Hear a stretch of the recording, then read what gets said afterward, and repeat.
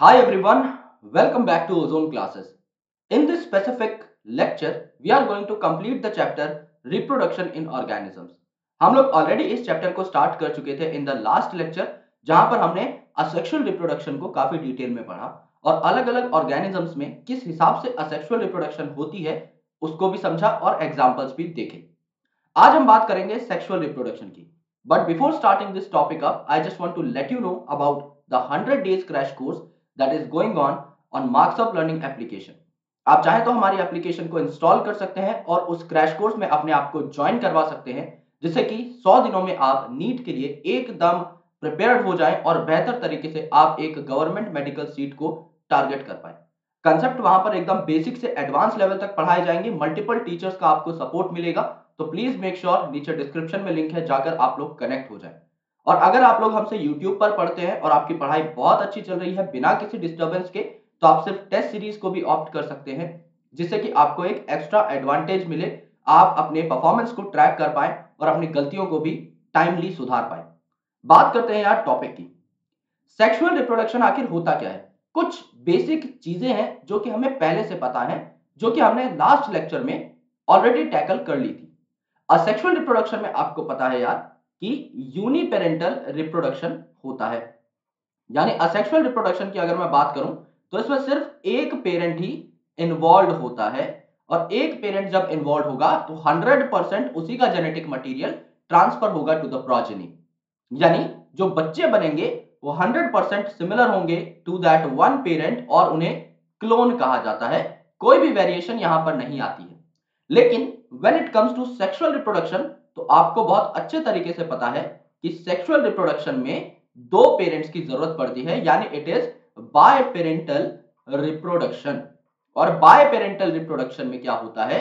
एक पेरेंट को हम लोग कहते हैं मेल पेरेंट एक पेरेंट को हम लोग कहते हैं फीमेल पेरेंट ये अपना गैमीट बनाता है, जिसको हम कहते हैं मेल गैमीट ये अपना गैमीट बनाती है, जिसको हम कहते हैं फीमेल गैमीट दोनों की दोनों चीज़ें ज़ाहिर सी बात है हैप्लॉइड होती हैं. Gametes are always haploid in nature और ये गैमेट जब फ्यूज करेंगे, ये गैमेट जब साथ में आकर के फर्टिलाइज करेंगे, तब जाके ये बनाएँगे एक डिप्लॉयड जाइगोट और पूरा का पूरा जो नया ऑर्गेनिज्म है, वो इससे तैयार होगा।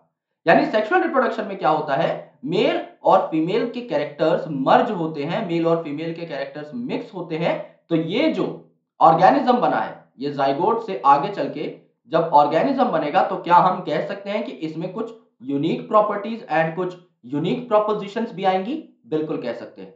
ये जो ऑर्गेनिज्म है it's a unique blend of the characters of mother as well as father तो इट इज़ मोर अडेप्टिव और ये ज़्यादा सर्वाइवल पोटेंशियल कैरी करता है as compared to a progeny that is formed from asexual reproduction क्योंकि इसमें ज़्यादा changes हैं तो ये ज़्यादा अपने आप को एनवायरमेंट में होने वाले बदलाव के अनुसार ढाल पाएगा और अल्टीमेटली अपने आप को ज़्यादा परपेचुएट करा पाएगा, किसी भी कंडीशन में अपने बच्चे पैदा कर लेगा हार्श से हार्श कंडीशन में भी। तो इनके सर्वाइवल की जो टेंडेंसी है सर्वाइवल का जो पोटेंशियल है, वो काफ़ी ज़्यादा रहता है as compared to that of an organism form from asexual reproduction तो सेक्सुअल रिप्रोडक्शन में क्या हुआ? मेल और फीमेल गैमेट्स बने, सीधी सी बात है। ये गैमेट्स चाहे तो सेम इंडिविजुअल भी बना सकता है या डिफरेंट इंडिविजुअल भी बना सकते हैं। जैसे कि in case of humans female सिर्फ़ फीमेल गैमेट बनाएगी, मेल सिर्फ़ मेल गैमेट बनाएगा तो डिफरेंट इंडिविजुअल्स में ये काम हो रहा है। जबकि अगर आप एक बाइसेक्सुअल ऑर्गेनिज्म की बात करें तो वहाँ पर एक ही इंडिविजुअल में मेल और फीमेल दोनों सेक्स ऑर्गन्स पाए जाते हैं तो मेल और फीमेल गैमेट सेम इंडिविजुअल भी बना सकता है। जैसे फ्लावर है लेट से वो बाइसेक्सुअल है तो उसमें आपको सेंटर पर फीमेल सेक्स ऑर्गन यानी गाइनोशियम देखने को मिलेगा और उसके चारों ओर आपको मेल सेक्स ऑर्गन यानी एंड्रोशियम देखने को मिलेंगे।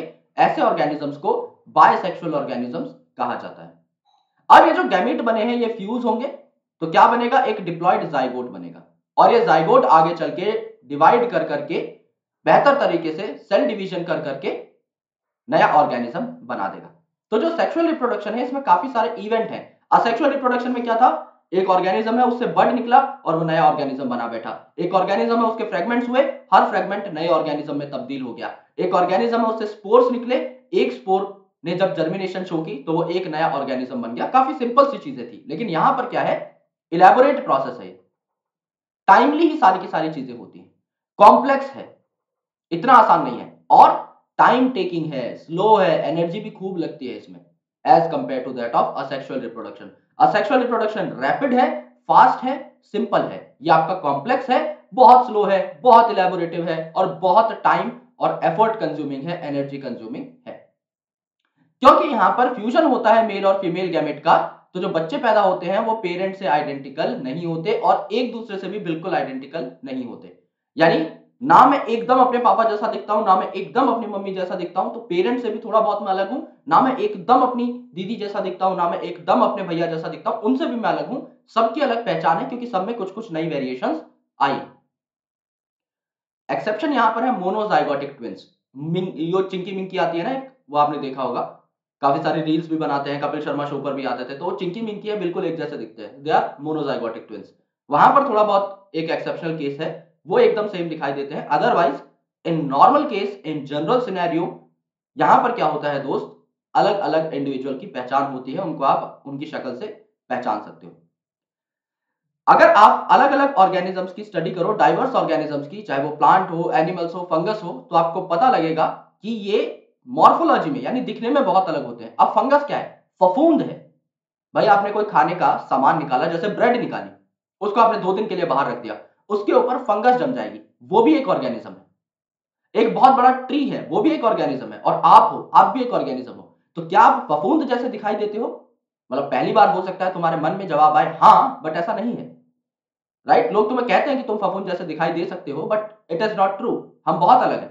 तो फंगस बहुत अलग दिखता है, मैं बहुत अलग दिखता हूँ, तुम बहुत अलग दिखते हो प्लांट बहुत अलग दिखता है, लेकिन हमारी मॉर्फोलॉजी अलग अलग है इंटरनल स्ट्रक्चर अलग अलग है कॉम्प्लेक्सिटी अलग अलग है, काम करने का तरीका अलग अलग है, लेकिन जब सेक्सुअल रिप्रोडक्शन की बात आती है तो सबके अंदर पैटर्न एकदम सिमिलर है। यानी क्या पैटर्न है? तीन तरीके के इवेंट्स होंगे। एक फर्टिलाइजेशन से पहले का, जिसे हम क्या बोलेंगे? Pre fertilization event pre fertilization event pre fertilization मतलब गैमीट्स के फ्यूजन से पहले के इवेंट्स गैमीट फ्यूज नहीं किए हैं अभी तो क्या होगा? दो प्रोसेसेस होंगे। पहला प्रोसेस भाई गैमीट बनेंगे भी तो इसे हम क्या कहते हैं? गैमीटोजेनेसिस गैमीटोजेनेसिस या आप लिख सकते हो gamete formation second gamete transfer भाई गैमीट फ्यूजन से पहले एक दूसरे के पास भी तो आएँगे, तभी तो जाके फ्यूज करेंगे ना तो गैमीट ट्रांसफ़र ये दो चीज़ें होती हैं प्री फर्टिलाइजेशन इवेंट के अंदर। Second important event is fertilization itself यानी अब जो पास आ चुके हैं गैमीट्स ये आपके बहुत ही अच्छे तरीके से एक दूसरे के साथ फ्यूज कर जाएँगे। Third important thing is post fertilization event post fertilization events क्या हुआ दोस्त इसके अंदर? यहाँ पर फर्टिलाइजेशन हुई जाइगोट बना। अब वो जाइगोट सेल डिवीज़न शो करेगा और एम्ब्रियो में तब्दील हो जाएगा, यानी एम्ब्रियोजेनेसिस जो है वो यहाँ पर होती है। एम्ब्रियो बनेगा और वो एम्ब्रियो जो है आगे फर्दर डेवलप करके एक नया ऑर्गेनिज्म तैयार करेगा। तो embryogenesis is a part of post fertilization event अब चाहे आप फंगस देख लो, अगर उसमें भी सेक्सुअल रिप्रोडक्शन हो रही है तो पहले गैमिट बनेंगे, फिर फ्यूज होंगे, फिर एम्ब्रियोजेनेसिस होगी। चाहे आप प्लांट देख लो प्लांट में भी पहले गैमिट बनेंगे फ्यूजन होगी एम्ब्रियोजेनेसिस होगी। चाहे आप एनिमल देख लो गैमिट बनेंगे फ्यूजन होगी एम्ब्रियोजेनेसिस होगी। यानी पैटर्न सबका सिमिलर है। और इनकी लाइफ पैटर्न्स भी लगभग एक जैसे होते हैं। जो भी ऑर्गेनिज्म सेक्सुअली रिप्रोड्यूस करता है, ये पहले जवान होता है थोड़ा। राइट तो ये जो फ़ेज़ है stage of growth and maturity जहाँ पर वो रिप्रोडक्टिव स्टेज पर पहुँचने वाला उससे पहले का जो टाइम है, इसे कहा जाता है जुवेनाइल फ़ेज़ और प्लांट में इसे कहा जाता है वेजिटेटिव फ़ेज़ वेजिटेटिव फ़ेज़ मतलब इसमें सिर्फ़ और सिर्फ़ वेजिटेटिव ऑर्गन्स ग्रो करते हैं। स्टेम है लीफ है, रूट है, टहनिया है, ये सब ऑर्गन्स ग्रो करेंगे। वेजिटेटिव फ़ेज़ में रिप्रोडक्टिव ऑर्गन्स नहीं आते, यानी इस टाइम पर फ्लावरिंग नहीं हुई है। क्योंकि flower is the site of sexual reproduction in plants तो वेजिटेटिव अगर किसी प्लांट को आप बोल रहे हो, उसमें फ्लावर नहीं है। तो वेजिटेटिव फ़ेज़ में अभी फ्लावर नहीं है रिप्रोडक्टिव फ़ेज़ में फ्लावर आएगा। सिमिलरली जुवेनाइल फ़ेज़ है, इसका मतलब अभी ऑर्गन्स तैयार हो रहे हैं मेच्योर हो रहे हैं टू बिकम सेक्सुअली एक्टिव अभी सेक्सुअली एक्टिव हुए नहीं है। तो जुवेनाइल फ़ेज़ में तैयारियाँ चलती रहती हैं। जैसे आप एक पर्टिकुलर एज पे आने के बाद ही रिप्रोड्यूस कर सकते हो। सेक्सुअल इंटरकोर्स को कंप्लीट कर सकते हो। उससे पहले का जो फ़ेज़ है that is called as juvenile phase plant में इन्हें वेजिटेटिव फ़ेज़ बोला, क्योंकि अभी फ्लावर नहीं आया है। और ये वेरिएबल ड्यूरेशन का होता है हर ऑर्गेनिज्म के अंदर। समझ लो एक डॉग है तो जब पैदा होता है डॉग उसे आठ नौ महीने के अंदर यूजुअली वो सेक्सुअली रिप्रोड्यूस करने लायक हो जाता है। लेकिन हमें अच्छे खासे टाइम की आवश्यकता होती है, पंद्रह, सोलह, सत्रह, अठारह साल हमें लग जाते हैं। और इसीलिए जो लीगल मैरिज एज है, वो भी आपकी काफ़ी अच्छी खासी रखी गई तो यहाँ पर वेरिएबल ड्यूरेशन जो है, वो देखने को मिलती है। प्लांट्स में भी अगर आप बात करें तो एक एनुअल प्लांट जो है, जो एक साल में अपनी लाइफ साइकिल खत्म कर देता है, उसको जल्दी जल्दी रिप्रोडक्टिवली एक्टिव होना पड़ेगा। कोई बायनियल प्लांट है, जो दो सीज़न में अपनी लाइफ साइकिल को कंप्लीट करता है, वो थोड़ा सा ज़्यादा टाइम ले सकता है। जो पेरिनियल है, वो थोड़ा और अच्छा खासा टाइम ले सकता है। सो जैसे ही जुबिनाइल फ़ेज़ खत्म होगा, तैयारियाँ खत्म हो जाएँगी वेजिटेटिव फ़ेज़ खत्म होगा तो क्या आ जाएगा? रिप्रोडक्टिव फ़ेज़ आ जाएगा। अब ये सेक्सुअली रिप्रोड्यूस कर सकते हैं। प्लांट में तो आप इजीली देखकर बता सकते हो कि रिप्रोडक्टिव फ़ेज़ चल रहा है या नहीं, क्योंकि प्लांट में अगर फ्लावर है, इसका मतलब वेजिटेटिव फ़ेज़ खत्म हो चुका है, उसके बाद ही फ्लावर आता है तो आपको इजीली पता लग जाएगा कि फ्लावर आ चुका है। यानी कि दोस्त, यहाँ पर रिप्रोडक्टिव फ़ेज़ की शुरुआत हो चुकी है। टेक्निकली अगर आप देखें तो आपका जुवेनाइल फ़ेज़ या वेजिटेटिव फ़ेज़ उस टाइम पे खत्म हो चुका है। राइट यहाँ पर अगर आप देखें तो आप अगर प्लांट्स को ऑब्ज़र्व करते हैं तो कुछ ऐसे प्लांट होंगे, जो पूरे साल जो है आपको फूल प्रदान करते हैं। कुछ और ऐसे होंगे, जो सिर्फ़ एक पर्टिकुलर सीज़न में ही आपको फूल प्रदान करते हैं। तो इन्हें हम रेगुलर ब्रीडर्स या फिर सीजनल ब्रीडर कह सकते हैं। सीजनल ब्रीडर जो सिर्फ़ एक पर्टिकुलर सीज़न में ही रिप्रोडक्टिवली एक्टिव होते हैं। जैसे समझ लीजिए कोई जानवर है, वो सिर्फ़ सर्दी में रिप्रोडक्शन शो करता है तो गर्मी में एक्टिव नहीं होगा। सिमिलरली अगर कोई प्लांट है जो सिर्फ़ गर्मियों में एक्टिव होता है फ्लावरिंग करने के लिए तो वो सर्दियों में फ्लावरिंग शो नहीं करेगा। लेकिन अगर कोई कंटिन्यूअस ब्रीडर है तो वो साल के किसी भी महीने में, किसी भी दिन में सेक्सुअली एक्टिव हो सकता है, जैसे कि ह्यूमन बींग्स हर साल में आप देखोगे, हर दिन किसी ना किसी का बर्थडे आता है। अगर आप एक यू नो बढ़िया स्कूल में पढ़े हो, जहाँ पे अच्छे खासे बच्चे हैं तो एक जना जो है, वो नई ड्रेस पहन के हमेशा स्टेज पे टंगा रहता था कि आज मेरा बर्थडे है, मुझे डॉक्टर इंजीनियर बनना है। मतलब मुझे तुम्हें पता नहीं है कि तुम्हारे स्कूल में क्या होता था। हमारे में ये होता था, जिसका बर्थडे है, वो स्टेज पे खड़ा होगा। प्रिंसिपल साहब उसको पेन, पेंसिल या जो भी एक रैप्ड गिफ्ट देंगे और बच्चा जो है वो आकर के बताएगा कि भाई मुझे डॉक्टर बनना है, मुझे इंजीनियर बनना है, मुझे एस्ट्रोनॉट बनना है, साइंटिस्ट बनना है, जो भी वट एवर इट इज़ उस हिसाब से हमें लगता था कि हर वर्किंग डे पे किसी ना किसी का बर्थडे है और होता भी था। तो इससे ही साबित होता है कि हम लोग कंटिन्यूस ब्रीडर हैं। जनवरी में भी इंसान के बच्चे पैदा होते हैं, फरवरी में भी, दिसंबर में भी। तो कंटिन्यूस ब्रीडर है। लेकिन कुछ ऐसे प्लांट्स होते हैं या कुछ ऐसे एनिमल्स होते हैं जिनके बच्चे स्पेसिफिक टाइम पर ही पैदा होते हैं। जैसे प्लांट्स तीन तरीके के होते हैं। प्लांट जो है ये एनुअल होते हैं। एनुअल मतलब एनुअल मतलब होता है एक साल। एक साल के अंदर ये अपनी लाइफ साइकिल को कंप्लीट कर देंगे फ्लावरिंग कर लेंगे अच्छे तरीके से। बाइनियल मतलब दो सीज़न के अंदर अपनी लाइफ साइकिल को कंप्लीट कर देंगे। तो इनको नोटिस करना बहुत आसान है। भाई, आपने बीज बोया। बीज बोने के बाद जब तक आपके फूल तो नहीं, लेकिन पत्ते जब उग रहे हैं डालियाँ जब उग रही हैं तो आपको पता लगेगा, भाई वेजिटेटिव फ़ेज़ चल रहा है। फिर फूल आए, आपको पता लग गया रिप्रोडक्टिव फ़ेज़ आ चुका है। फिर सब कुछ झड़ गया सेनेसेंट फ़ेज़ आ गया, आपको पता लग गया कि हाँ भाई सेनेसेंट फ़ेज़ आ चुका है। तो यहाँ पर एनुअल और बाइनियल जो प्लांट्स होते हैं सिंस इनकी लाइफ साइकिल काफ़ी छोटी है तो इनमें आप clear cut vegetative clear cut reproductive और क्लियर कट सेनेसेंट फेजेस को देख सकते हैं। लेकिन कुछ ऐसी स्पीसीज हैं जो पेरिनियल है, जो कई सालों में एक बार लेट से आपका फ्लावरिंग करती है। तो आप एग्जैक्टली exactly नहीं बता पाओगे कि उसमें अभी कौन सा फ़ेज़ चल रहा है। Right right? मतलब समझ लो एक प्लांट है, जिसने अभी तक फ्लावर नहीं किया, लेकिन वो पचास साल का हो गया प्लांट अभी तक फ्लावर नहीं किया। तो अब आपको कैसे पता लगेगा कि भाई ये फ्लावरिंग के बाद का प्लांट है, या फ्लावरिंग से पहले का इसकी तो अच्छी खासी हाइट है? तो आप नहीं जस्टिफाई कर पाओगे। सिर्फ़ वही बंदा बता सकता है जिसने उस प्लांट को स्टार्टिंग से देखा हो एंड सिंस इनकी लाइफ साइकिल बहुत बड़ी होती है so that is not very possible for example जैसे कि बैम्बू की अगर आप बात करें तो बंबू का जो प्लांट है 50 से 100 साल में सिर्फ़ एक बार large number of fruits and flowers produce करता है और उसके बाद उसकी डेथ हो जाती है। तो 50 से 100 साल तक कौन ही ऑब्ज़र्व करेगा एक प्लांट को? इतनी तो हमारी लाइफ साइकिल नहीं है यार। इतना तो हमारा लाइफ स्पैन नहीं है अर्थ के ऊपर। अराउंड सेवेंटी टू लेट से सेवेंटी टू सेवेंटी फाइव इतना एवरेज मान सकते हो कि मैक्सिमम यार कोई बंदा आज के दिन में जीता है। अगर सौ साल में बैम्बू फ्लावर कर रहा है तो उसको तो ऑब्ज़र्व हम कर ही नहीं पाएँगे। तो इसमें आप क्लियर कट नहीं बता सकते कि कौन सा फ़ेज़ चल रहा है। ये फ्लावरिंग से पहले का प्लांट है या फ्लावरिंग के बाद का प्लांट है? That you can't justify similarly एक और बहुत अच्छा प्लांट है स्ट्रॉबिलेंथस कुंथियाना इस पे क्वेश्चन भी आता है। इसे नीला कुरंजी बोलते हैं, क्योंकि ये नीले कलर के फ्लावर्स प्रोड्यूस करता है। यहाँ पे ब्लू स्ट्रेचेस भी लिखा होगा, ये रहा। तो ब्लू का मतलब होता है नीला। तो नीला कुरंजी, जो प्लांट है दैट इज़ स्ट्रॉबिलेंथस कुंथियाना ये 12 साल में एक बार फ्लावर करता है। आखिरी बार ये सितंबर अक्टूबर 2018 में फ्लावर कर चुका है। उसकी फ़ोटोज़ भी मैंने आपके साथ प्रीवियस लेक्चर्स में शेयर की हुई है। तो 12 साल में एक बार ये जो है फ्लावर करता है। 2006 के बाद 2018 में किया है। अब 2030 के आसपास ये फ्लावर करेगा, यानी कि 8 साल बाद। ये यूजुअली साउथ इंडिया में देखने को मिलता है तो केरला कर्नाटका और तमिलनाडु के जो पहाड़ी इलाके हैं उनपे बहुत बढ़िया ये फूलों की पट्टी तैयार कर देता है नीले रंग की तो काफ़ी सारे जो टूरिस्ट हैं, उनको बहुत ज़्यादा एक्साइट करता है। एनिमल्स की अगर आप बात करें तो फ्लावर्स की बात हो गई या प्लांट्स की बात हो गई कि एनुअल और बाइनियल में आप vegetative reproductive senescent phase easily बता पाओगे। लेकिन when it comes to a perennial plant, it becomes very difficult for all of us to justify what is going on, right?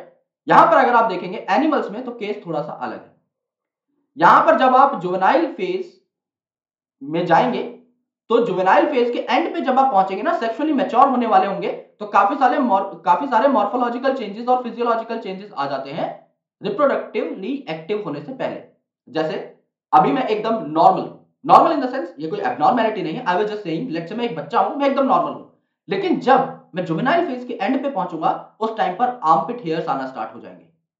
Pubic region में hairs आना start हो जाएँगे। Both in boys and girls right और लड़कों में जो दाढ़ी है वो उगनी स्टार्ट हो जाएगी मॉस्टेच उगनी स्टार्ट हो जाएगी, आवाज़ जो है भारी हो जाएगी। और लड़कियों में भी कुछ ऐसे चेंजेस होते हैं which are very very different from that of boys for example breast development अगर लड़कियों में ब्रेस्ट डेवलपमेंट हो रही है then it is a normal thing but अगर लड़कों में ब्रेस्ट डेवलपमेंट हो जाए then it is a disease called gynecomastia right जो कि हम principles of inheritance and variation में पढ़ेंगे। थोड़े से फीमेल कैरेक्टर्स इंड्यूस होने स्टार्ट हो जाते हैं मेल के अंदर which is not correct so females में ब्रेस्ट डेवलपमेंट होती है हिप डेवलपमेंट स्टार्ट हो जाती है hips become broad and ultimately all those changes are taking place at the end of juvenile phase which marks that the female और the male are being reproductively active now they can reproduce now it is the time when they can show their active reproductive behaviour तो काफ़ी सारे morphological changes जैसे दाढ़ी मूछ आ जाना और masculine हो जाओगे आप थोड़े, ये होते हैं फिजियोलॉजिकल चेंजेस भी होते हैं, जैसे फीमेल में यार मेंस्ट्रुअल साइकिल स्टार्ट हो जाएँगी मेंसेस आने स्टार्ट हो जाएँगे पीरियड्स जिनको हम बोलते हैं कॉमन लैंग्वेज में वो आने स्टार्ट हो जाएँगे। So that is the thing that happens in case of male sperm production get started and ultimately ये सारे चेंजेस एविडेंट होते हैं, आपको ऑटोमेटिकली पता लग जाते हैं। सो रिप्रोडक्टिव फ़ेज़ जो है, ये भी आपका वेरिएबल ड्यूरेशन का होता है अलग अलग ऑर्गेनिज्म में डिपेंडिंग अपॉन लाइफ साइकिल ज़ाहिर सी बात है, अगर आप ह्यूमन में भी देखें तो ह्यूमन में भी मेल और फीमेल में डिफरेंट है वेरिएबल है। एक आदमी जो है, एक मेल जो है, वो सत्तर साल तक भी स्पर्म प्रोड्यूस कर सकता है, सत्तर, पचहत्तर साल तक भी देखा गया है। लेकिन फीमेल्स में मेनोपॉज आ जाता है। मेनोपॉज मतलब चालीस, पैंतालीस, चालीस नहीं यूजुअली पैंतालीस, पचास की एज के आसपास फीमेल्स में एग्स बनना बंद हो जाते हैं। और वो रिलीज़ होना भी बंद हो जाते हैं, यानी साइकिल एकदम खत्म हो जाती है। That is called as menopause so female जहाँ सिर्फ़ 50 साल तक ही एग्स प्रोड्यूस कर पाती है मेल 75 इयर्स तक भी स्पर्म्स प्रोड्यूस करता रहता है। तो रिप्रोडक्टिव फ़ेज़ भी देख रहे हो? सेम स्पीशीज के अंदर भी कितना ज़्यादा डिफरेंट है just because of the gender so this is the thing जो कि यहाँ पर हमें बताती है कि रिप्रोडक्टिव फ़ेज़ की भी जो टाइमिंग है, वो अलग अलग हो सकती है। यहाँ पर अगर आप देखोगे एनिमल्स में भी तो दो प्रकार के आपको तरीके देखने को मिलते हैं बच्चे पैदा करने के। First is vivipary vivipary मतलब बच्चों को गर्भ में रखना, जो कि हम लोग करते हैं।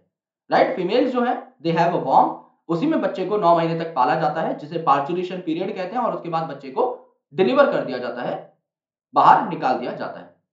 लेकिन बर्ड्स के केस में अगर आप देखें, या काफ़ी सारे और जानवरों के केस में आप देखें तो ये ओवी पैरस होते हैं ये अंडे देते हैं।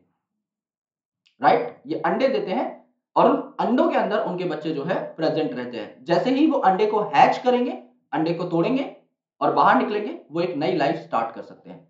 बट यहाँ पे आप देखोगे कि बर्ड जो कि नेचुरली सर्वाइव कर रहे हैं ना, अपने नेचुरल एटमोस्फेयर में, वो सिर्फ़ सीजनली अंडे देते हैं। यानी साल में लेट से दो महीने अंडे देंगे। लेकिन जो मुर्गियाँ हम लोग पोल्ट्री फार्म्स में पालते हैं वहाँ वो जो मुर्गियाँ हैं, ये पूरे साल अंडे देती हैं यार, हर दिन अंडा दे रही हैं। तो क्या ये नेचुरल प्रोसेस है? द आंसर इज़ नो ये एक्सप्लॉयटेशन है। जो मुर्गी पालक रहते हैं, वो अक्सर इन मुर्गियों का फ़ायदा उठाते हैं और इनके अंदर कुछ चेंजेस इंड्यूस कराते हैं हार्मोनल चेंजेस जिसकी वजह से वो डेली अंडा देने पे मजबूर हो जाते हैं बट वो जो अंडा होता है, वो बच्चे वाला अंडा नहीं होता। यानी उनसे बच्चे नहीं निकलते, ये अंडे यूजुअली वो लोग बेचते हैं और उससे मुनाफा कमाते हैं but this is not a natural process it is called as commercial exploitation of birds for human welfare हम लोग उनके अंदर की फिजियोलॉजी को थोड़ा सा ऑल्टर करते हैं जिससे कि हमें ज़्यादा से ज़्यादा मुनाफा हो सके which is totally totally wrong और यहाँ पर जब रिप्रोडक्टिव फ़ेज़ आता है ना तो प्लेसेंटल मैमल्स जो होते हैं, जिनके अंदर प्लेसेंटा बनता है, जो बच्चे और माँ के बीच में कनेक्शन बनाता है, जब बच्चा माँ के गर्भ में होता है तो प्लेसेंटल मैमल्स जो है, इनके अंदर साइक्लिकल चेंजेस होने लगते हैं। In the ovaries and in the accessory duct जैसे फेलोपियन ट्यूब वगैरह। सो यहाँ पर जो हॉर्मोन्स हैं, इनकी वजह से ओवरीज की फंक्शनैलिटी में थोड़ा बहुत चेंज आता है और साइकिल स्टार्ट हो जाती है, यानी एग्स रिलीज़ होना स्टार्ट हो जाते हैं। इसे आप क्या बोलते हो? नॉन प्राइमेट्स के अंदर, जैसे कि हम प्राइमेट है तो जो नॉन प्राइमेट है, जैसे कि गाय हो गई, भेड़ हो गई रैट है डियर है डॉग है टाइगर है, इन सब के अंदर आप इसे बोलते हो ऑयस्ट्रस साइकिल लेकिन when it comes to primate हम लोग प्राइमेट है, बंदर एक प्राइमेट है एप एक प्राइमेट है, हमसे मिलता जुलता। ये जो है दोस्त, इनमें आप मेंस्ट्रुअल साइकिल टर्म का इस्तेमाल करते हो। हमारे फीमेल्स में आप एक टर्म इस्तेमाल करते हो menses that menses word has been taken from the menstrual cycle जबकि नॉन प्राइमेट्स में उसे ऑयस्टर साइकिल कहा जाता है। फ़ंक्शन एकदम सेम है, उसमें कोई भी गड़बड़ नहीं है। यानी हर महीने, अगर मैं ह्यूमंस की बात करूँ तो हर 28 दिन की साइकिल होती है। हर फोर्टीन डे पे ऑल्टर भी हो सकता है कई बार just because of some reason जैसे कि स्ट्रेस है, कोई प्रॉपर एक्सरसाइज नहीं कर रहा है, या बहुत ही ज़्यादा अनहाइजीनिक लाइफस्टाइल है, या कुछ और हार्मोनल इम्बैलेंस हो चुका है। तो लड़कियों में क्या होता है? यूजुअली ये साइकिल काफ़ी बार डिसरप्ट हो जाती है। कि लेट से आपका जो एग है, वो आना था पाँच फेब को। There are a lot of applications that females must have installed तो उस एप्लीकेशन में बता देता है अच्छा यार, आपको इस दिन अगर मेंसेस हुए हैं तो next month there is a probability that you will get menses on this particular day so that they can become ready क्योंकि उन्हें भी काफ़ी सारी तैयारियाँ करनी पड़ती हैं। There is you know assurance कि हाँ यार, इस टाइम पे मुझे पैड कैरी करना स्टार्ट कर देना है। तो वहाँ पर क्या रहता है दोस्त? बेसिकली वो जो टाइम है, वो एप्लीकेशन हमें बीप साउंड के थ्रू बताता रहता है। एक इंडिकेशन दे देता है that this is the right time for you to carry your pads always with you तो वहाँ पे क्या होता है? काफ़ी बार उस डेट में ऑल्टरेशन हो जाती है। लेट्स से फिफ्थ और फिफ्थ ऑफ़ फेब को एग आना था बट वो नहीं आया। वो टेंथ ऑफ़ फेब को शिफ्ट हो गया। So there is a shift also right many mammals specially those living in natural और wild condition exhibit such cyclic changes only during favourable season जिन्हें सीजनल ब्रीडर कहा जाता है। उनमें पूरी साल साइकिल नहीं चलती। जैसे ह्यूमन की जो फीमेल है, वो लेट से एक साल में अगर एक महीने में एक एग रिलीज़ करती है तो एक साल में बारह एग्स रिलीज़ करेगी दैट इज़ फॉर श्योर लेकिन यहाँ पर कुछ ऐसे ऑर्गेनिजम्स होते हैं जो पूरी साल एग्स नहीं रिलीज़ करते, सिर्फ़ एक सीज़न में ही एग रिलीज़ करते हैं, इन्हें सीजनल ब्रीडर कहा जाता है। सिंस इन्हें पूरी साल रिप्रोड्यूस करना ही नहीं है तो एक स्पेसिफिक टाइम पर ही इन साइकिल्स को इंड्यूस करते हैं। लेकिन काफ़ी ऐसे एनिमल्स रहते हैं जो पूरी की पूरी साल ही एग्स रिलीज़ करते रहते हैं, इन्हें कंटिन्यूस ब्रीडर कहा जाता है, जैसे कि ह्यूमन बींग्स राइट तो सबसे पहले हम जवान हुए जुवेनाइल फ़ेज़ को कंप्लीट किया हमने। देन रिप्रोडक्टिव फ़ेज़ जब हम रिप्रोडक्टिवली एक्टिव है, एक टाइम के बाद सेनेसेंट यानी बूढ़े होना हम लोग स्टार्ट हो जाते हैं तो हम सब लोग बूढ़े हो जाते हैं। जब रिप्रोडक्टिव फ़ेज़ खत्म हो चुका होगा तो आप क्या बोलते हैं कि रिप्रोडक्टिव फ़ेज़ खत्म हो चुका है?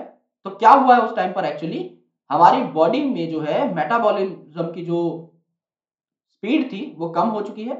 एंड अल्टीमेटली हम लोगों की डेथ हो जाएगी बाद में सेनेसेंट फ़ेज़ के बाद। यानी सबसे पहले जुवेनाइल फ़ेज़ आया, बचपन से लेके जवानी तक जो हमें छोड़ेगा दैट इज़ जुवेनाइल फ़ेज़ फिर जवानी का फ़ेज़ आया दैट इज़ रिप्रोडक्टिव फ़ेज़ फिर हम डिट्यूरेट करने लगे सेनेसेंट फ़ेज़ आया, हम कमज़ोर होते चले गए और एंड में हमारी डेथ हो गई।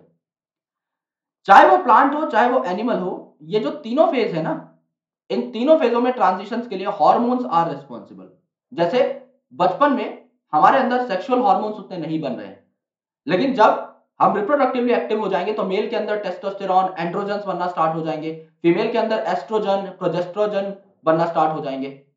एंड बुढ़ापे में फिर वो कम होना स्टार्ट हो जाएँगे। तो ये जो तीनों फेजेस हैं, इन तीनों के बीच में हॉर्मोन्स तो इंटरेक्शन करवाते हैं इसके साथ साथ एनवायरमेंटल फैक्टर्स भी हैं जो रेगुलेट कराते हैं। जैसे कोई सीजनल ब्रीडर है तो वहाँ पर एनवायरमेंट भी एक अच्छा रोल प्ले करता है कि this is the right time for you to breed या फिर this is not the right time for you to breed that is been regulated by the environmental factors और इसी से हमारे बिहेवियरल एक्सप्रेशन भी कंट्रोल होते हैं। यानी जब हम जवान होते हैं we become more aggressive we become more robust in work we have a lot of energy since we are active but उसके बाद बुढ़ापे में या उससे पहले हम लोग उतने एक्टिव नहीं रहते, उतने ताकतवर नहीं रहते। अब देखो यार, तीन चीज़ें मैंने आपको बताई थी। यहाँ पर लिख करके there are three events first one is pre fertilisation that is before fertilisation second one is fertilisation and third one is post fertilisation now it's time to understand that ये सेक्सुअल रिप्रोडक्शन में क्या क्या चीज़ें होती है? तो अगर आप देखोगे तो इन्हें तीन जोन्स में आप डिवाइड कर सकते हो। प्री फर्टिलाइजेशन यानी फर्टिलाइजेशन से पहले, जिसमें आते हैं गैमेटोजेनेसिस यानी गैमेट का बनना और गैमेट का ट्रांसफ़र होना। सेकंड इज़ फर्टिलाइजेशन यानी गैमेट्स का फ्यूज होना। Third one is post fertilisation यानी गैमेट्स के फ्यूजन के बाद एम्ब्रियोजेनेसिस होना। आफ्टर अटेनमेंट ऑफ़ मेच्योरिटी यानी एक बार सेक्सुअली मेच्योर हो जाने के बाद all sexually reproducing organisms events and processes that have a remarkable fundamental similarity.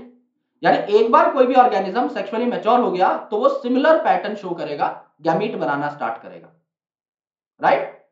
तो सेक्सुअल रिप्रोडक्शन सिंस काफ़ी इलेबोरेट और काफ़ी कॉम्प्लेक्स प्रोसेस है, लेकिन चीज़ें जो है, वो रेगुलर सीक्वेंस में ही होती हैं।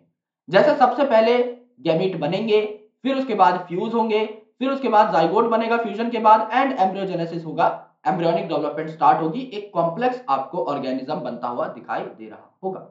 अब इन तीनों प्रोसेसेस को बारी बारी हमें पढ़ना है।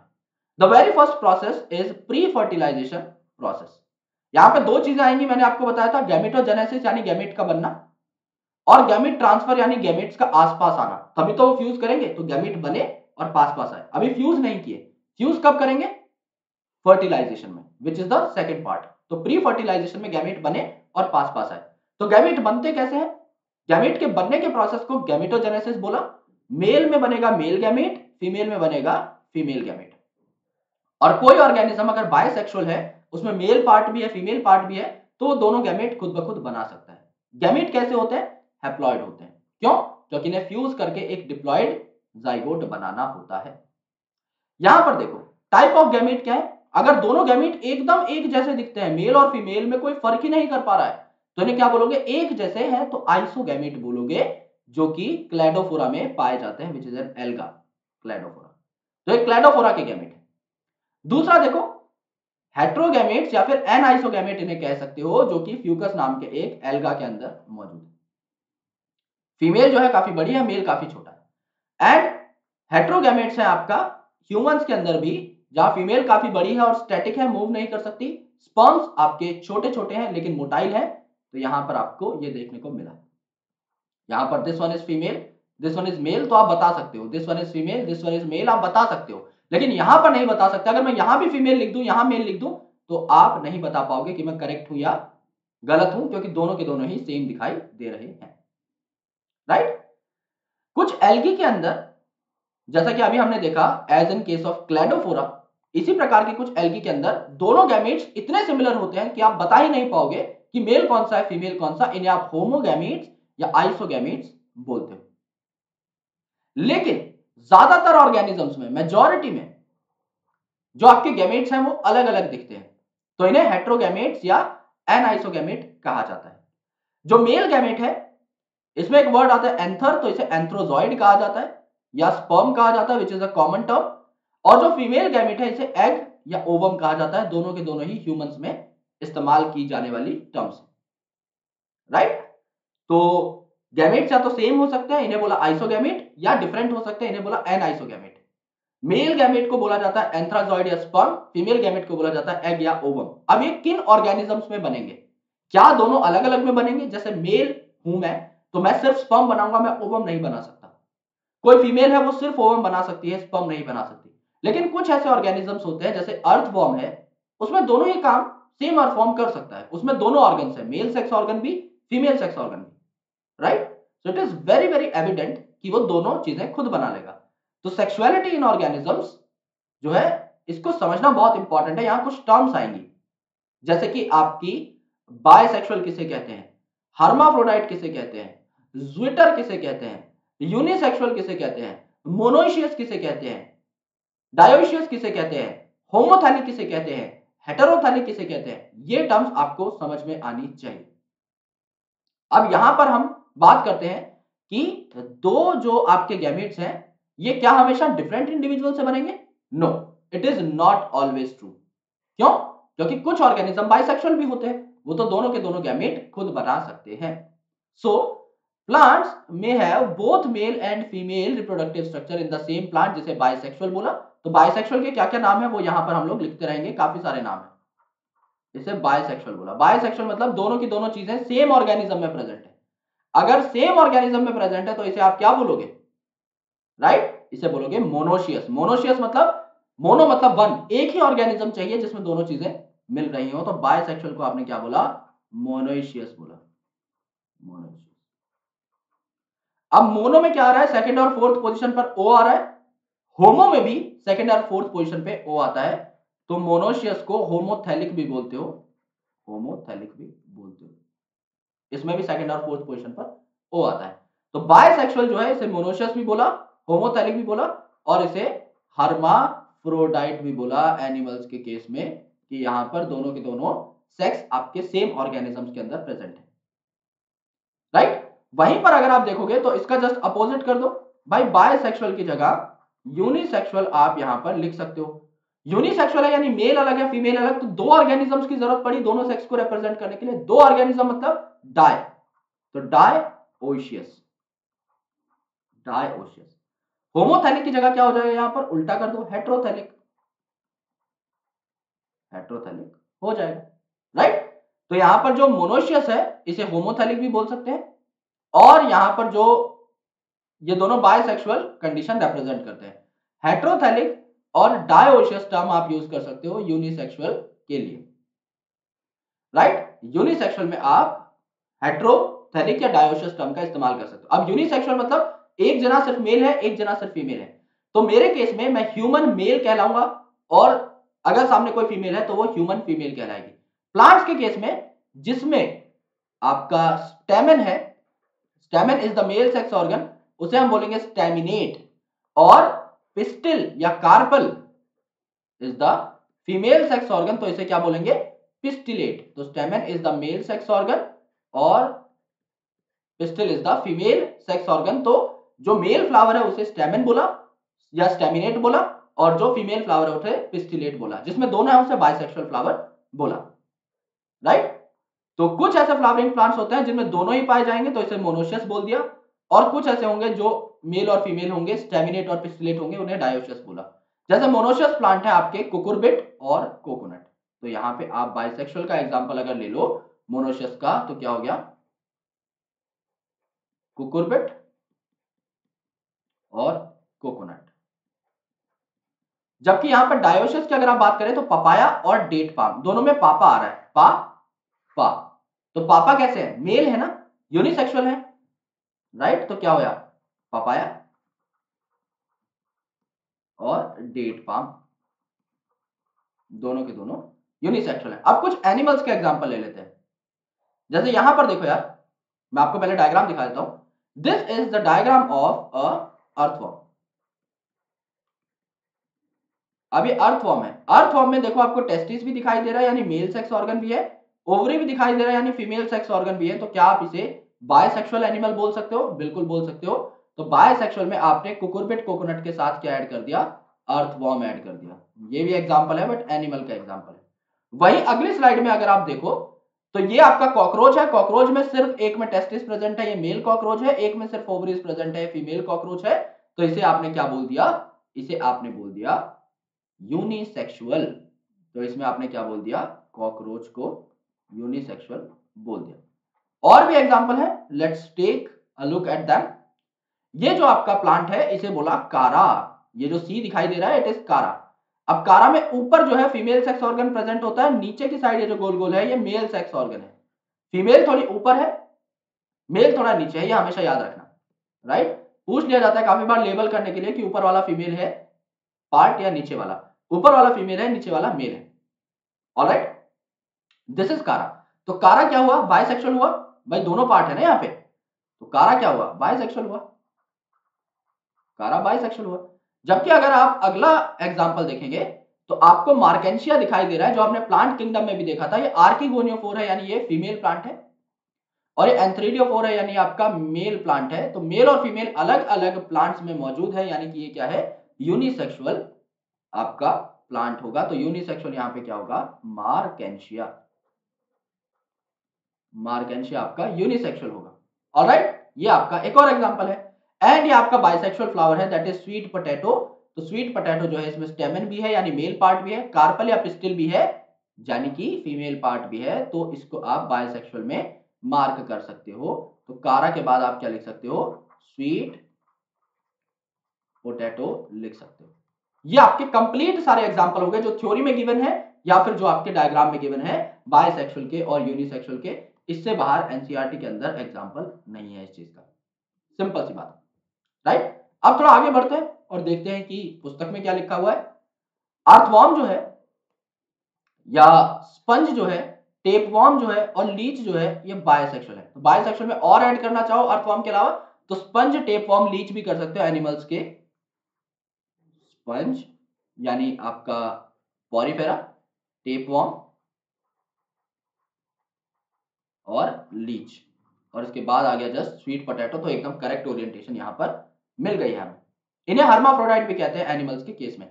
जबकि कॉकरोच आपका जो है वो यूनिसेक्सुअल है ये बात हम लोग लिख चुके हैं। Already in the past slide अब सेल डिवीज़न कैसी होती है ड्यूरिंग गैमेट फॉर्मेशन आपको हेप्लॉइड गैमेट बनाना है। सो so, ये डिपेंड करता है कि आप कौन से सेल से एक हेप्लॉइड गैमेट बना रहे हो। राइट? जैसे कि अगर आप देखो तो ज़्यादातर ऑर्गेनिजम्स में मेल और फीमेल गैमेट आपके अलग अलग इंडिविजुअल बनाते हैं सेम भी बना सकते हैं। गैमेट्स हैप्लॉइड है, लेकिन जो प्लांट बॉडी है, वो हैप्लॉइड भी हो सकती है और डिप्लॉइड भी हो सकती है। तो समझ लो मेरा डिप्लॉइड प्लांट है। और मुझे इससे हैप्लॉइड गैमेट बनाना है तो मैं क्या करूँगा? मैं मियोसिस नाम का एक प्रोसेस करूँगा। और अगर मेरा हैप्लॉइड प्लांट है और मुझे हैप्लॉइड ही गैमेट बनाना है तो मैं माइटोसिस नाम का एक पर्टिकुलर प्रोसेस यहाँ पे करूँगा। मियोसिस और mitosis depending upon what are the conditions diploid से हैप्लॉइड बना रहा हूँ रिडक्शनल डिवीज़न होनी चाहिए मियोसिस होनी चाहिए। हैप्लॉइड से हैप्लॉइड बन रहा है इक्वेशनल डिवीज़न होनी चाहिए माइटोसिस होनी चाहिए। Right right? जैसे कि मोनरा है बैक्टीरिया वगैरह। फंगस है एल्गी है ब्रायोफाइट है। तो यूजुअली क्या होते हैं? गैमेटोफिटिक होते हैं। इनकी बॉडी यूजुअली हैप्लॉइड होती है। तो ये क्या करेंगे? हैप्लॉइड से हैप्लॉइड बनाएँगे माइटोसिस से गैमेटोजेनेसिस होगी। लेकिन टेरिडोफाइट जो है, जिम्नोस्पर्म जो है, एंजियोस्पर्म जो है, ये आपके डिप्लॉइड होते हैं। तो ये डिप्लॉइड से हैप्लॉइड बनाएँगे गैमेट तो मियोसिस के थ्रू सारी की सारी प्रोसेसेस होंगी, ये हम अच्छे तरीके से जानते हैं। ये तीनों स्लाइड हम लोग देख ही चुके हैं, बकायदा इसे हम लोग सप्लीमेंट भी कर चुके हैं। Now it's time for taking some challenge यहाँ पर कुछ डिप्लॉयड क्रोमोसोम का नंबर दे रखा है। आपको बताना है कि हैप्लॉयड क्रोमोसोम का नंबर कितना होगा या वाइस वर्षा अगर ह्यूमन बींग में डिप्लॉयड है 46 तो हैप्लॉयड है 23 ज़ाहिर सी बात है, आधा कर देना है। यहाँ पर हाउस फ्लाई में डिप्लॉयड है 12 तो हैप्लॉयड कितना होगा? आधा कर दो 6 यहाँ पर 21 है रेट में तो इसका डबल कर दो 42 78 है तो इसका आधा कर दो, यहाँ पर क्या हो जाएगा? 39 19 है तो इसका डबल कर दो, क्या हो जाएगा? 38 8 है तो इसका आधा कर दो, क्या हो जाएगा? 4 630 है, इसका डबल कर दो, कितना हो जाएगा? 1260 34 है, इसका डबल कर दो। अच्छा हैप्लॉइड है तो आधा कर दो। 34 है तो क्या हो जाएगा? 17 हो जाएगा। 12 है, इसका डबल कर दो, क्या हो जाएगा? 24 20 है, इसका आधा कर दो, क्या हो जाएगा? 10 24 का डबल कर दो 48 380 है, इसका आधा कर दो 190 8 है, इसका डबल कर दो, कितना हो जाएगा? 16 अब इसमें से याद क्या क्या रखना है? याद रखना है दोस्त, हमें सिर्फ़ ह्यूमन बींग का। 46 is the diploid number of chromosomes and 23 is the pair alright house fly का याद ना रखो चलेगा डॉग का याद ना रखो चलेगा Ophioglossum 1260 one of the highest that is given in NCERT onion का आपका cell cycle cell division chapter में भी गिवन है तो ये इंपॉर्टेंट है प्लस यहाँ से आपको ये पता लगता है कि एनिमल अगर छोटा भी हो तो उसमें क्रोमोसोम का नंबर ज़्यादा हो सकता है जैसे ह्यूमंस काफ़ी बड़े हैं as compare to that of butterfly लेकिन ह्यूमन में 46 क्रोमोसोम है, जबकि बटरफ्लाई में 380 क्रोमोसोम्स है. तो साइज़ का कोई भी लेना देना यहाँ पर नहीं है ये कंक्लूजन भी हम लोग डिराइव कर सकते हैं। अब देखो दोस्त इन डिप्लॉयड ऑर्गेनिज्म कुछ सेल्स हैं जिन्हें मियोसाइट कहा जाता है। मियोसाइट को मदर सेल भी बोलते हैं। मियोसाइट मतलब ऐसा सेल जो मियोसिस शो कर सकता है। अगर वो मियोसिस शो कर रहा है इसका मतलब वो डिप्लॉयड है यानी वो मदर सेल है। ठीक है? तो डिप्लॉयड ऑर्गेनिज्म में हर सेल मियोसिस शो नहीं करेगा। कुछ स्पेशल सेल हैं जो मियोसिस शो करेंगे जो गैमीट बनाएँगे। सो so, जब मियोसिस खत्म होगी तो आपका गैमीट बन जाएगा। जिसमें सिंस हैप्लॉइड है वो तो वन सेट ऑफ़ क्रोमोसोम होगा सिर्फ़ तो एक सेट आपका मदर के फीमेल गैमेट में आ जाएगा और वन सेट आपका फादर के मेल गैमेट में आ जाएगा। दोनों फ्यूज होंगे तो एक सेट ऑफ़ क्रोमोसोम आपको पेयर ऑफ़ क्रोमोसोम आपको देखने को मिल जाएगा। यह है गैमेटोजेनेसिस यानी गैमेट कैसे बने। अब गैमेट ट्रांसफ़र की गैमेट एक दूसरे के पास पहुँचे कैसे? अब मेल और फीमेल गैमेट जो है फिजिकली एक दूसरे के पास पास आने चाहिए, जिससे फर्टिलाइजेशन हो पाए। तो ज़्यादातर ऑर्गेनिजम्स में मेल जो है गैमेट ये आपका छोटा होता है और फुर्तीला होता है मोटाइल होता है, जबकि फीमेल गैमेट आपका क्या होता है स्टेशनरी होता है, ये ज़्यादा मूव नहीं करती। तो ज़ाहिर सी बात है कि फीमेल के पास ही मेल स्विम करके जाता है। कुछ ऐसे एक्सेप्शन है जिनमें दोनों गैमेट एक जैसे दिखाई दे रहे थे तो उनमें क्या है जैसे कि कुछ फंगस में कुछ एल्गी में जैसे क्लैडोफोरा में आपने देखा तो दोनों तरीके के जो गैमेट है मोटाइल है उसमें दोनों ही पास पास आ सकते हैं। अदरवाइज़ सिर्फ़ मेल भाग के आएगा फीमेल के पास। लेकिन ये भाग कर आ रहे हैं सिंस या स्विम करके आ रहे हैं तो इन्हें एक मीडियम की ज़रूरत है जिसके थ्रू ये स्विम करेंगे या जिसके थ्रू फीमेल के पास आएँगे। सो so, जो एल्गी है या ब्रायोफाइट है या जो टेरिडोफाइट है ये पानी में ज़्यादा रहते हैं। दे आर एक्वेटिक तो यहाँ पर पानी वो मीडियम है जिसके थ्रू मेल गैमेट फीमेल तक पहुँचेंगे। लेकिन पानी में लहर की दिशा समझ लो, ये है, गैमेट को जाना उस साइड है तो काफ़ी गैमेट वेस्ट हो जाते हैं। काफ़ी गैमेट पहुँच ही नहीं पाएँगे फीमेल तक फेल हो जाएँगे to reach the female gamete. इसीलिए हज़ारों गुना मेल गैमेट प्रोड्यूस होते हैं as compare to that of female अगर फीमेल गैमेट एक है तो मेल गैमेट कम से कम दो ढाई हज़ार होंगे उसके कंपैरिजन में। क्योंकि इतने सारे मेल गैमेट होंगे, तब जाके एक आधा कोई सही जगह जाके फ्यूज करेगा। अगर आप बात करते हैं सीड प्लांट्स की, जिनमें सीड होते हैं, जैसे कि जिम्नोस्पम और एंजियोस्पम तो पॉलन ग्रेन बनते हैं वहाँ पे। पॉलन ग्रेन जो है, इसके अंदर दो मेल गैमेट होते हैं। राइट अगर आप एंजियोस्पर्म्स की बात करें तो दो मेल गैमेट होंगे, जो कि डबल फर्टिलाइजेशन कराएँगे। और फीमेल जो है, जो अपनी जगह पर बैठी हुई है, उसके ओव्यूल में एग होगा। राइट तो यहाँ पर क्या होगा? पॉलन ग्रेन जो है, ये आपके पहुँचा दिए जाएँगे टू द स्टिग्मा और यहाँ पर क्या होगा? उसे एक्सेप्ट कर लिया जाएगा। देखो यार, ये मेल का सेक्स ऑर्गन है। It is anther it is filament इन दोनों को मिलाकर के क्या बोला जाता है? स्टेमेन और ये फीमेल का सेक्स ऑर्गन है। This is stigma which is the landing platform this is type and नीचे है आपकी ओवरी यहाँ पर आपका क्या है? एग मौजूद है। यहाँ पर आपका एग मौजूद है। यहाँ पर जब ये एंथर फटा तो पॉलन ग्रेन्स रिलीज़ हो गए। एंथर फटा तो पॉलन ग्रेन्स रिलीज़ हो गए। ये पॉलन ग्रेन्स जब स्टिग्मा पर जाकर लैंड हुए मेरे दोस्त तो यहाँ पर क्या हुआ? पॉलन ट्यूब बनी। ये पॉलन ट्यूब लेकर के जाती है इसे नीचे की साइड यानी इस एग तक।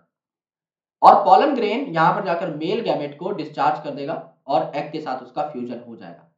तो ये जो मीडियम है, इसके थ्रू पॉलन ग्रेन्स को पहुँचाया जाता है which can be air which can be water anything right तो जो बायसेक्सुअल फ्लावर्स होते हैं ना, जिनमें दोनों ऑर्गन्स अपने ही पास हैं तो इन्हें सेल्फ फर्टिलाइजिंग प्लांट्स कहा जाता है, जैसे कि आपका मटर है दैट इज़ पी तो इसमें क्या रहता है पॉलन ग्रेन्स भी सेम प्लांट पे है स्टिग्मा भी सेम प्लांट पे है तो बहुत पास पास है तो एक दूसरे को इजिली अप्रोच कर सकते हैं।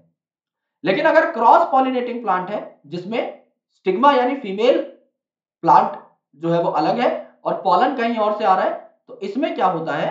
पॉलिनेशन नाम का एक इवेंट हमें रखना पड़ता है। यानी पॉलन जो है, आपका ट्रांसफ़र होगा to the female plant part इसे कहा जाता है पॉलिनेशन तो this process is called as pollination तो ये पॉलिनेशन हमें करवानी होती है। राइट पॉलन ग्रेन्स जो है, जैसा मैंने आपको बताया था स्टिग्मा पे जर्मिनेट करेंगे और पॉलन ट्यूब बना लेंगे। पॉलन ट्यूब मेल गैमेट को लेकर के जाएगी ओव्यूल तक और मेल गैमेट्स को डिस्चार्ज कर देगी। Right right? जिसके बाद मेल और फीमेल का फ्यूजन हो जाएगा। In case of dioecious animals that is in case of unisexual animals male और फीमेल गैमेट जो है अलग अलग इंडिविजुअल्स बनाएँगे। तो यहाँ पर भी गैमेट ट्रांसफ़र के अलग अलग मैकेनिज्म होते हैं। जैसे कि ह्यूमन मेल और फीमेल का जब इंटरकोर्स होता है तो ह्यूमन मेल पीनस से स्पर्म्स निकल करके फीमेल के जेनाइटल ट्रैक्ट में इंसर्ट हो जाते हैं ultimately they can reach to the place they can swim as well as they can go to the site of fertilization जहाँ पर वो एग के साथ फ्यूज करके जाइगोट बना सकते हैं। तो फर्टिलाइजेशन इनकी हो जाती है, जब ये पास पास पहुँचते हैं। राइट जैसे कि ये देखिए, दो गैमेट आपके सेम थे तो इन्हें होमोगैमेट या आइसोगैमेट बोला गया। तो ये साथ साथ जब आए तो इनके बीच में फ्यूजन हुई एंड इन्होंने क्या बना लिया? नया जाइगोट बना लिया, जो कि नया इंडिविजुअल बना लेगा। ये देखिए यहाँ पर पॉलन ग्रेन है, जो कि स्टिग्मा के ऊपर अटैच हो गई है और इन्होंने पॉलन ट्यूब ग्रो कर दी। तो यहाँ पर जो है पॉलन ग्रेन का जर्मिनेशन दिखाया गया है स्टिग्मा के ऊपर। पॉलन ट्यूब जो है यहाँ पर बन रही है। पॉलन ट्यूब यहाँ पर बन रही। Now the second important process is fertilization gamete बने और पास पास आए। अब वो फ्यूज कैसे करेंगे? This is the most vital event in sexual reproduction जहाँ पे दोनों गैमेट साथ साथ फ्यूज करेंगे। इस प्रोसेस को सिनगैमी कहा जाता है या फर्टिलाइजेशन कहा जाता है। अब दो हेप्लॉइड गैमेट अगर फ्यूज कर रहे हैं तो एक डिप्लॉइड जाइगोट बनेगा। एक से हेप्लॉइड कंटेंट आया, एक से हेप्लॉइड कंटेंट आया तो डिप्लॉइड जाइगोट आपका तैयार हुआ। राइट लेकिन कुछ ऐसे ऑर्गेनिजम्स हैं, जैसे कि rotifers honey bees and even some lizards and birds जैसे कि टर्की जहाँ पर फीमेल गैमेट जो है बहुत अच्छे से याद रखना है कि फीमेल गैमेट जो है, वो आपका खुद ही खुद डेवलपमेंट शो कर देती है और एक ऑर्गेनिज्म बना लेती है विदाउट फर्टिलाइजेशन इसे हम कहते हैं पार्थेनोजेनेसिस पार्थेनो का मतलब होता है विदाउट फर्टिलाइजेशन और जेनेसिस का मतलब जनरेशन नए ऑर्गेनिज्म का। एक और वर्ड आपने सुना होगा पार्थेनो कार्पी कार्पी का मतलब होता है फ्रूट तो वहाँ पार्थेनो मतलब विदाउट फर्टिलाइजेशन कार्पी मतलब फ्रूट का बनना, वहाँ फ्रूट बन रहा है विदाउट फर्टिलाइजेशन यहाँ पे पूरा ऑर्गेनिज्म बन रहा है विदाउट फर्टिलाइजेशन राइट तो रोटीफर है हनी बी है, कुछ लिजॉर्ड की वराइटीज है एज वेल एज टर्की नाम का बर्ड है, जिसमें फीमेल गैमेट खुद ही मैच्योर हो जाता है और नया ऑर्गेनिज्म बना लेता है तो इसे फर्टिलाइजेशन की ज़रूरत नहीं पड़ती। वो खुद ही खुद डिवीज़न शो करता है और काफ़ी सारे सेल्स तैयार कर लेता है, जिससे ऑर्गेनिज्म की पूरी बॉडी तैयार हो जाती है। राइट अब नेक्स्ट क्वेश्चन आता है कि सिनगैमी होती कहाँ है? यानी जो मेल और फीमेल गैमेट फ्यूज कर रहे हैं, कहाँ फ्यूज कर रहे हैं? जैसे अगर आप ह्यूमंस की बात करें तो इनका फ्यूजन फीमेल की बॉडी में होता है। मेल ने स्पर्म्स डिस्चार्ज किए, वो फीमेल की बॉडी में चले गए और फीमेल की बॉडी के अंदर फ्यूजन हो गया। और वहीं पर बच्चे की डेवलपमेंट भी स्टार्ट हो गई। तो इट इज़ इंटरनल फर्टिलाइजेशन लेकिन काफ़ी जानवर क्या करते हैं? अपने एग्स को पानी में छोड़ देते हैं। और वहीं पर काफ़ी सारे स्पर्म्स भी आ जाते हैं। और उनका फ्यूजन पानी में ही होता है, यानी दोनों की बॉडी में नहीं हो रहा, बाहर हो रहा है, पानी के अंदर। It is called external fertilization वहीं पर उनकी डेवलपमेंट होती है। So they are very prone to predators कोई भी शिकारी आकर के उनको खा सकता है। तो उनके सर्वाइवल के चांस काफ़ी कम होते हैं, इसलिए वो बहुत ज़्यादा बच्चे पैदा करते हैं। उनके एग्स जो है, उनकी संख्या हज़ारों में हो सकती है, क्योंकि उनमें से कुछ चुनिंदा ही एंड में बचेंगे। लेकिन ह्यूमंस जो हैं, या मैमल्स जो हैं कम बच्चे पैदा करते हैं।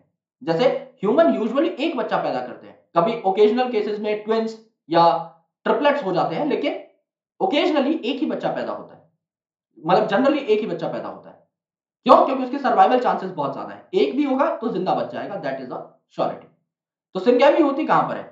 अगर कोई पानी में रह रहा है ऑर्गेनिज्म ज़्यादातर एक्वाटिक ऑर्गेनिज्म में, जैसे कि एल्गी है, या कई फिशेज हैं, या फिर एम्फीबियंस हैं तो ये एक्सटर्नल मीडियम में, यानी वाटर में ही अपने गैमेट्स को छोड़ देंगे। और वहीं पर एग के साथ स्पर्म फ्यूज हो जाएगा और एक्सटर्नल फर्टिलाइजेशन आपको देखने को मिलेगी। यहाँ पर सिंक्रोनी बहुत ज़्यादा होनी चाहिए, यानी सिंक्रोनस इवेंट्स होने चाहिए। यानी अगर फीमेल ने एग रिलीज़ कर दिया है तो मेल को भी स्पर्म रिलीज़ करने पड़ेंगे। समझ लो फीमेल ने एग रिलीज़ कर दिए और उनकी वायबिलिटी है दो दिन की, और स्पर्म आ रहे हैं एक हफ़्ते बाद, तब तक तो एग खत्म हो गए। काम खत्म, कोई फर्टिलाइजेशन नहीं होगी। इसीलिए ये जो इवेंट्स हैं, ये एक सिंक्रोनाइज्ड वे में होने चाहिए। राइट तो लार्ज नंबर ऑफ़ गैमेट्स जो है, पानी में छोड़ दिए जाते हैं जिससे सिंगैमी के चांसेस बढ़ जाए। जैसे कि बोनी फिशेस राइट और फ्रॉग जहाँ पर काफ़ी ज़्यादा नंबर ऑफ़ ऑफ़ प्रोड्यूस होती हैं।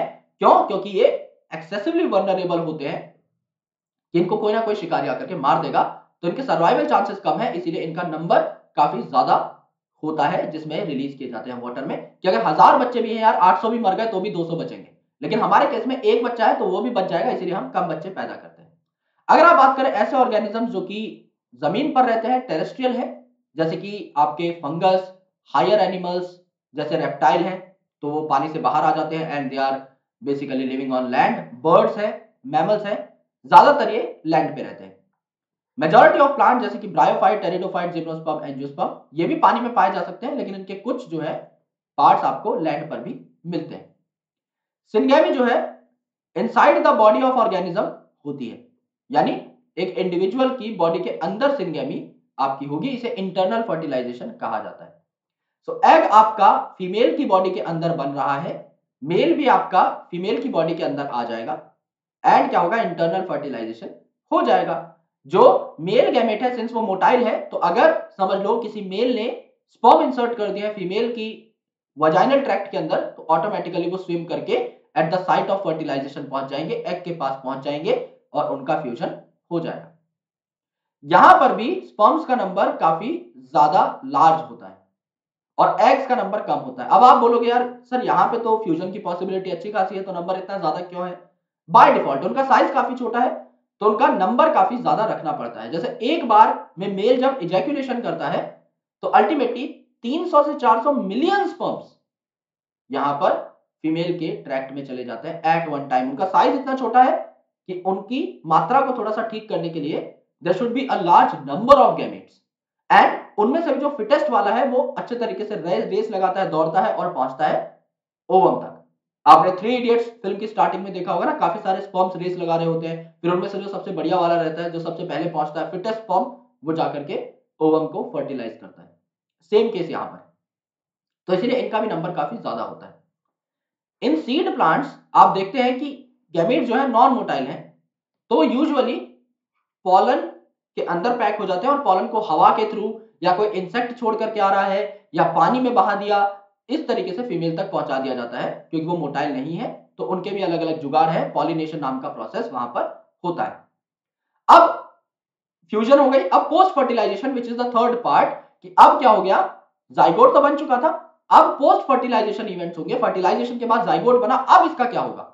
अब इसको पूरा ऑर्गेनिज्म भी तो तैयार करना है। तो सबसे पहले क्या बनेगा फर्टिलाइजेशन के बाद? जाइगोट एक डिप्लॉयड जाइगोट बना और ये यूनिवर्सली हर सेक्सुअली रिप्रोड्यूसिंग ऑर्गेनिज्म में बनता है। यानी सेक्सुअल रिप्रोडक्शन मतलब फ्यूजन ऑफ़ गैमेट अगर फ्यूजन ऑफ़ गैमेट हो रही है तो फर्टिलाइजेशन के बाद जाइगोट बनेगा। ठीक है? In organisms with external fertilization zygote जो है, पानी के अंदर ही बनता है। भाई, वहीं पे फ्यूजन हुई है तो वहीं पे जाइगोट बनेगा। जबकि इंटरनल फर्टिलाइजेशन में जैसे कि ह्यूमंस के अंदर फीमेल की बॉडी के अंदर फर्टिलाइजेशन हो रही थी तो वहाँ पर फीमेल की बॉडी के अंदर ही आपका जाइगोट बनेगा। ये बहुत जनरल सी बात है। जहाँ फर्टिलाइजेशन होगी, वहीं जाइगोट बनेगा। फर्दर डेवलपमेंट कहाँ होगी? ये डिपेंड करता है एक ऑर्गेनिज्म की लाइफ साइकिल पे और उसके एनवायरमेंट पे। लेट से काफ़ी सारे फंगस हैं, काफ़ी सारे एल्गी हैं, जहाँ पे एक थिक वॉल आ जाती है इनके चारों ओर जाइगोट के चारों ओर। जो कि उसे डेसिकेशन और डैमेज से बचाती है राइट क्यों? क्योंकि वो अचानक से डिवाइड करना स्टार्ट नहीं करता। जो जाइगोट है, उसके ऊपर एक कवर आ गया फंगस और एल्गी के अंदर कि भाई, जब मुझे लगेगा कि कंडीशन प्रॉपर है फेवरेबल है, मैं तभी ऑर्गेनिज्म बनाना स्टार्ट करूँगा। अभी अगर मुझे लगता है कंडीशन थोड़ी बहुत अनफेवरेबल है तो मैं अपने आप को पैक कर लेता हूँ और मैं रेस्ट के एक पीरियड में चला जाता हूँ। राइट सिमिलरली अब एक ऑर्गेनिज्म है जो हैप्लॉन्टिक लाइफ साइकिल शो करता है यानी उसको हैप्लॉइड ऑर्गेनिज्म बनाना है तो डिप्लॉइड जाइगोट से हैप्लॉइड ऑर्गेनिज्म बनाना है तो क्या होगा? डिप्लॉइड जाइगोट मियोसिस करेगा और हैप्लॉइड सेल बना लेगा। वो हैप्लॉइड सेल डिवाइड कर करके डिवाइड कर करके पूरा हैप्लॉइड ऑर्गेनिज्म बना लेगा। एंड लेट से अगर कोई organism diplontic life cycle show करता है तो जाइगोट सीधा डिवीज़न स्टार्ट कर देगा और काफ़ी सारे डिप्लॉइड सेल्स बना लेगा। सो इट डिपेंड्स अपॉन कि कैसा ऑर्गेनिज्म है, कैसी उसकी लाइफ साइकिल है, उसी हिसाब से जाइगोट डिवाइड करेगा। तो जाइगोट वो लिंक है जो दो जनरेशन को जोड़ता है और यही इंश्योर करता है continuity of species on earth यानी फादर मदर की जनरेशन को बच्चे की जनरेशन से कौन लिंक कर रहा है? जाइगोट क्योंकि फादर मदर के गैमेट मिले तो जाइगोट बना और वो जाइगोट डिवाइड करके नया इंडिविजुअल बना रहा है. That's why it is a connecting link between two generation अब बात आई एम्ब्रियोजेनेसिस की. एम्ब्रियोजेनेसिस एम्ब्रियो जाइगोट की डेवलपमेंट के बाद बनता है. जेनेसिस मतलब जनरेशन एम्ब्रियो की जनरेशन को एम्ब्रियोजेनेसिस बोला। तो एम्ब्रियोजेनेसिस क्या हुआ? Process of development of embryo या formation of embryo from the zygote यानी एक जाइगोट है which is a single cell इसमें जब डिवीज़न होना स्टार्ट हुई तो दो सेल बने। दोनों डिप्लॉयड फिर इसमें जब डिवीज़न हुई तो चार सेल बने। चारों डिप्लॉयड फिर आपके आठ सेल बने, फिर सोलह सेल बने, फिर बत्तीस सेल बने एंड सो ऑन इस हिसाब से चीज़ें चलती रही और एम्ब्रियो आपका बन गया अच्छे खासे सेल का, इसे एम्ब्रियोजेनेसिस कहते हैं। तो जाइगोट जो है, ये अच्छे तरीके से सेल डिवीज़न करेगा, पहले अपना नंबर बढ़ाएगा खूब सारा माइटोसिस से यानी बहुत सारे डिप्लॉयड सेल बनाएगा, और फिर करेगा सेल डिफरेंशिएशन सेल डिफरेंशिएशन मतलब अलग अलग ऑर्गन्स बनाना स्टार्ट करेगा, हर सेल को इंडिविजुअल काम दे देगा। जैसे यहाँ पर चार सेल बने, चार सेल बने, इसको बोलेगा भैया, तुम स्टमक बनाओ स्टमक नाम का ऑर्गन बनाओ। इसको बोल दिया तुम ब्रेन नाम का ऑर्गन बनाओ। इसको बोल दिया तुम किडनी नाम का ऑर्गन बनाओ। इसको बोल दिया तुम लिवर नाम का ऑर्गन बनाओ। और ये तो एक रेफरेंस है। मतलब पहले जब सेल डिवाइड करते हैं तो करोड़ों सेल्स बन जाते हैं। उसके बाद उनमें से स्पेशलाइज ऑर्गन स्पेशलाइज टिश्यू बनना स्टार्ट हो जाते हैं। तो क्या होगा? सेल डिवीज़न तो नंबर बढ़ाएगा सेल्स का इंक्रीज करेगा नंबर ऑफ़ सेल्स और सेल डिफरेंशिएशन जो है वो सेल्स को मॉडिफाई करेगा और उन्हें स्पेशल टिश्यूज और ऑर्गन में कन्वर्ट कर देगा, जिससे एक नया ऑर्गेनिज्म बन पाए, बेहतर तरीके से काम चल पाए। राइट सो एनिमल्स दो तरीके के हो सकते हैं, जो मैंने आपको पहले ही बता दिया इस लेक्चर में ओवी पैरस वीवी पैरस ओवी पेरस जो अंडे देते हैं राइट और वीवी पैरस जो डायरेक्टली बच्चे को जन्म देते हैं। तो डिपेंड करता है कि जाइगोट की डेवलपमेंट फीमेल बॉडी के बाहर हो रही है अंदर उस हिसाब से ओवी पेरस या बीवी पेरस कहा जाता है। अब अगर एक फीमेल ने अंडा दे दिया है तो उस अंडे के अंदर हो रही है ना डेवलपमेंट फीमेल की बॉडी से तो अंडा बाहर निकल गया।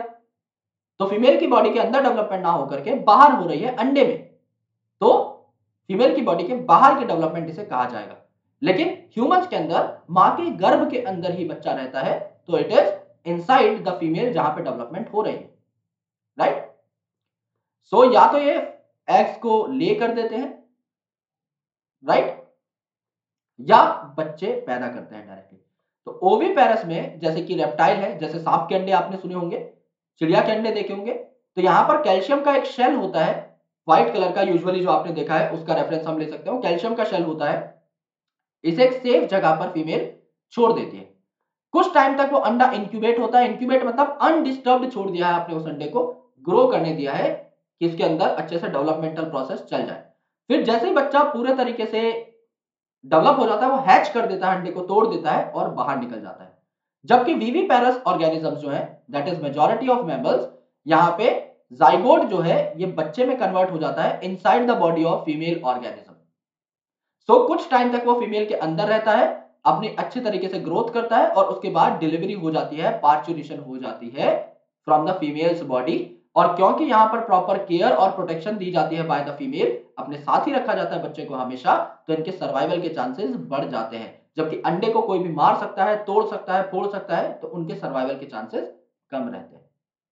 राइट अगर आप प्लांट्स की बात करें तो जाइगोट जो है, ये ओव्यूल के अंदर बनेगा। ओव्यूल के अंदर एग था। एग में आपका गैमीट आके मेल गैमीट आके फ्यूज कर गया तो उसी के अंदर जाइगोट बना। यहाँ पे क्या होता है दोस्त? यहाँ पे पिस्टिल जो है, यानी फीमेल पार्ट जो है, ये प्लांट से अटैच रहता है क्योंकि उसी के अंदर डेवलपमेंट हो रही है। जाइगोट जो बना था, वो एम्ब्रियो में कन्वर्ट हो जाएगा। ओव्यूल्स जो थे, वो सीड में कन्वर्ट हो जाएँगे। और ओवरी जो थी, ये फ्रूट में कन्वर्ट हो जाएगी। और इसके ऊपर का जो कवर है, वो पेरिकार्प बना लेगा। फ्रूट के ऊपर का जो कवर था, वो पेरिकार्प कहलाता है। पेरी मतलब पेरीफेरी यानी चारों ओर। कार्प मतलब फ्रूट तो फ्रूट के चारों ओर का कवर बना लिया ओवरी के कवर ने। ओके, जो कि प्रोटेक्शन प्रोवाइड करता है। After dispersal seed germinate under favourable condition तो ये जो सीड है, ये फ्रूट में से निकल करके जब ज़मीन पे गिरेंगे तो नया प्लांट बना लेंगे। जैसे यहाँ पर आपको सीड और पेरिकार बता रखा है। अब ये मटर का सीड है, इसका छिलका है ये पेरिकार ये इसको बचा रहा है। सिमिलरली यहाँ पर सीड है, इस केस में, और इसके बाहर का कवर है दैट इज़ पेरिकार यहाँ पर सीड है इस केस में, इसके बाहर का जो कवर है दैट इज़ पेरिकार और यहाँ पर सीड है इस केस में इसके बाहर का जो कवर है दैट इज़ पेरिकार सीड और फ्रूट को कवर करता है आपका pericarp as simple as that so this was about your first chapter of twelfth class biology which is reproduction in organism in coming videos we are going to talk about some more chapters of reproduction unit as well as we will be talking about ecology unit twelfth का major part हम लोगों को complete करना है, जिसके बाद हमारी genetics बचेगी एंड हमारा जो बायोलॉजी in human welfare है, वो वाला part आपका बचेगा, जिसमें माइक्रोब्स in human welfare, आपका ह्यूमन हेल्थ डिज़ीज़ और strategies for enhancement of food production आएगा। और इलेवंथ का भी मेजोरिटी पार्ट कंप्लीट हो चुका है सिंस सेल वाली यूनिट आपकी कंप्लीट है प्लांट फिजियोलॉजी आपकी कंप्लीट है सिस्टमैटिक्स कंप्लीट है, दो यूनिट्स रहती हैं that is morphology and anatomy structural organization as well as human physiology इसको एक शॉट में कंप्लीट करा देंगे मतलब लगातार ही पकड़ेंगे इलेवंथ और 10 दिन के अंदर 15 दिन के अंदर कवर करा देंगे। So thank you so much guys for watching this video 100 days crash course launch हो चुका है। आप चाहें तो इसे ज्वाइन कर सकते हैं। कनेक्ट हो सकते हैं। हम टेलीग्राम के ऊपर, जहाँ पर आपको हमारे सारे के सारे नोट्स मिल जाएँगे। तो प्लीज़ मेक श्योर कि हमारे टेलीग्राम चैनल को आप लोग ज्वाइन कर लें। एज वेल एज आप हमारी एप्लीकेशन को इंस्टॉल कर सकते हो। नीचे डिस्क्रिप्शन में लिंक मिल जाएगा आपको। यहाँ पर काफ़ी सारे क्वेश्चन बैंक्स हैं which start from ten rupees to hundred rupees इनको आप लोग यूज़ कर सकते हैं। To increase your grip on your topics और इस कोर्स को अगर आप ज्वाइन करना चाहते हैं तो इसका भी लिंक डिस्क्रिप्शन में दिया हुआ है। प्लीज़ मेक श्योर कि आप ज्वाइन करें। बहुत मज़ा आएगा। ऐसा क्रैश कोर्स आपने अभी तक नहीं देखा होगा, ये मैं दावे के साथ कह सकता हूँ। So thank you so much यार। Bye bye take care lots of love जय Hind I truly be catching you up in coming videos एक दिन का गैप देंगे अब हम, शायद या ना भी दें, मैं रात को वीडियो बना दूँगा कल। लेकिन थोड़ा सा गैप मैं ज़रूर दूँगा, जिससे आप प्लांट फिजियोलॉजी के और इस रिप्रोडक्शन वाले चैप्टर के बैकलॉग को कवर कर लें, क्योंकि अब वीडियोस धड़ाधड़ धड़ाएँगी तो ज़ाहिर सी बात है, आप अपने बैकलॉग को क्रैक करके रखें। शुक्रिया यार, मिलता हूँ आपसे अगले सेशन के अंदर। Bye bye take care